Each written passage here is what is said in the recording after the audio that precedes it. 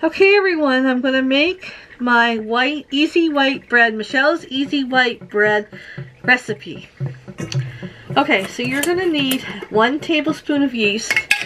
I get my yeast in a package at Costco and I uh, keep it in a, a mason jar in the freezer and it never goes bad. It lasts, I have, I buy one and it lasts years. So you want to get your yeast and if you if you think it's too much keep it in the freezer. One tablespoon of yeast two tablespoons of sugar. Now it's important to put that sugar in. That's going to wake up your yeast okay? You need something to wake up your yeast and the sugar does the job okay? Then you're going to add two cups medium warm hot water you want it a little warm, extra warm. Mix it up. You're going to let this sit for 10 minutes. And just don't touch it. Just leave it sit here. The sugar will wake up the yeast and you'll see the foam. Okay, we'll be back in 10 minutes. Mix it, give it a good mixing. Okay, you see how that foamed up? That's what you want. That way you know your yeast is alive. Mm -hmm. Okay, now you're going to add five and a half cups of flour. I got my handy dandy measuring cups here at the thrift store. This is a two cupper. And then I got a one and a half cupper. Very rare to find that.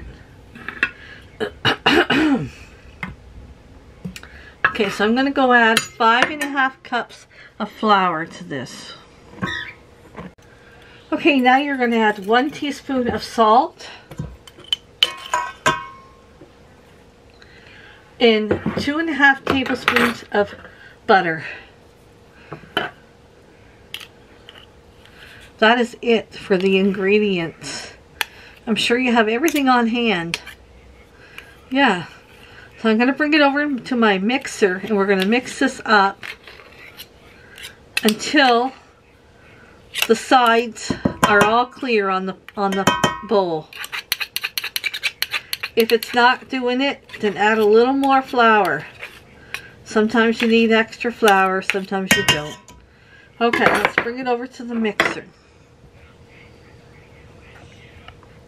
Okay, I use my dough hook and I just let it go until I set to like I said um, the sides are all clear. I'll show you oh what?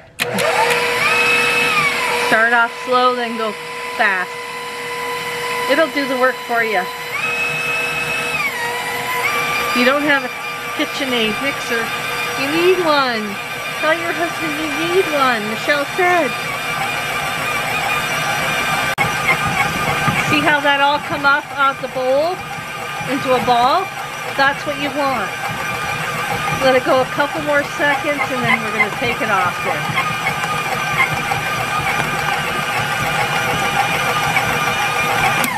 Okay. Okay, so now you're going to take this ball. I spray my hand usually. Just olive oil. I spray it around the bowl Get it all up into a ball.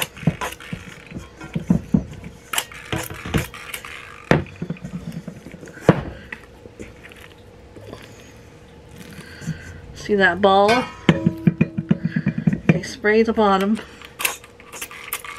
What you're going to do is just form it into a ball. And you're going to let this rise. Sit covered for one hour. Okay? Now you want it in a warm spot, not where it's cold. So if it's cold in your home, put it in the oven with the oven off. Don't put the oven on. okay, we're going to cover it up with a pretty uh, tea towel. I'm going to use my Easter one today. There, and we're going to let this be for one hour.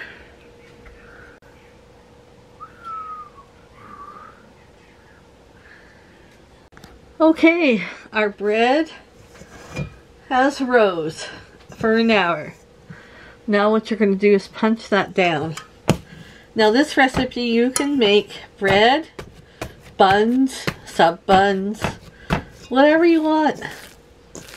It's, uh, yeah, you can make anything out of this bread that you would, you know, want buns, subs, hamburger buns, hot dog buns, and it's easy. So what I do now is I just knead it a little bit. Now, sometimes I make two small loaves, and sometimes I make a big loaf, like here. Like this is a big, big loaf. And uh, that's what I'm doing today. So just knead it a little bit, a little bit with your hands. And then I just roll it into like a log. Tuck it all in. Tuck it in, tuck it in, tuck it in. and then I put it in the, in the bread pan. Now we're going to let it rise. I like to have, I like to make it nice, nice and even. Yeah. Now we're going to let it rise for another hour, uncovered. But I'm still to put it in the, uh, in the oven with the heat off because it feels chilly in here. Okay, back to rising for an hour with uncovered.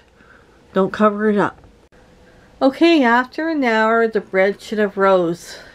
And you're to put it in your oven at 350 for 35 minutes. I usually go a little less in my oven because it cooks fast. So we'll see you guys when it comes out of the oven. Okay, when your bread's done, put it on uh, the counter and let it sit for 10 minutes before you take it out of the pan. Okay, after 10 minutes, you're going to put it on a rack to cool. And then you can eat as much bread as you want after.